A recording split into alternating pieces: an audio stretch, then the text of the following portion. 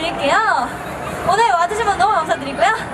앞으로도 열심히 하는 오마이걸 되도록 하겠습니다. 네! 그럼 지금까지 오마이걸이었습니다. 감사합니다. 감사합니다. 네, 감사합니다. 오마-